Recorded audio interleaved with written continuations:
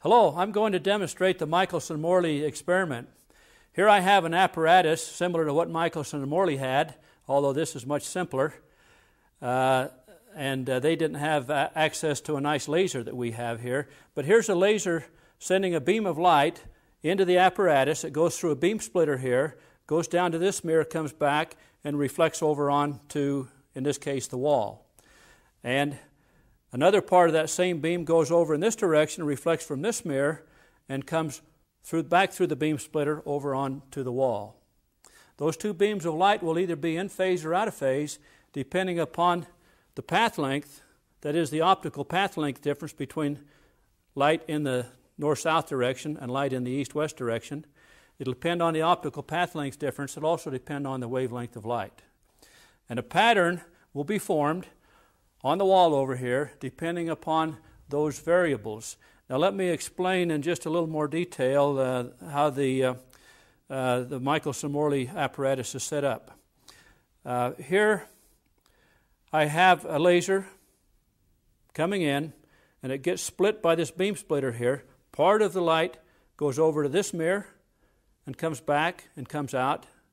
Let me turn that around so that you can see this mirror in a little more detail. So this is one of the mirrors. And that mirror will be the, li- the, the mirror that reflects the light uh, from along the east-west direction. And then we have another mirror here, and part of the light from the laser will go through the beam splitter, reflect from this mirror, and come back, and then reflect over onto the screen. So we have a mirror here that will reflect light as it goes in the north south direction, and a mirror over here that will reflect light that goes in the east west direction. And those two beams of light, north south, east west, will get together and form a pattern on the wall over here. So now let me demonstrate uh, what I mean by a, a shift of the fringe. Here we have the various fringes here going from dark to bright, dark, bright, each one of these bright rings we can think of as a fringe. And I'm going to turn the lights down and we're going to demonstrate how we can uh, shift those fringes from one to another. I'm going to shift the fringes by turning a knob which will change the path length of the light as it reflects from one mirror compared to the path length of the other beam of light that reflects from the other mirror. That would be one fringe shift. That would be two, three, four, five.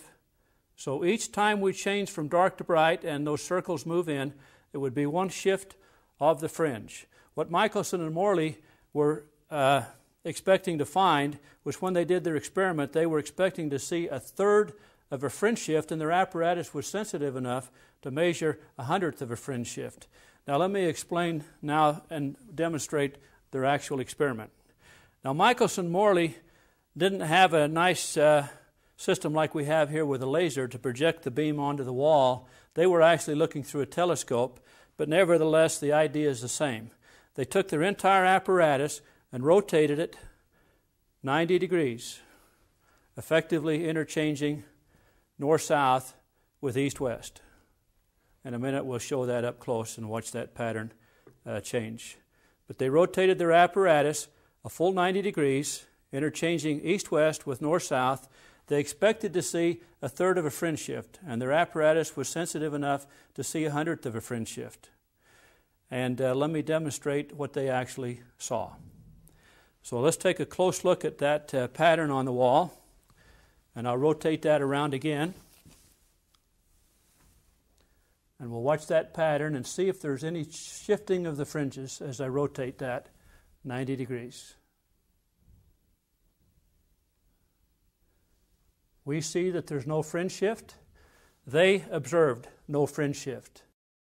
So, in conclusion, then, Michelson and Morley were not able to observe any difference in the speed of light traveling north south from the speed of light traveling east west. The Michelson Morley experiment.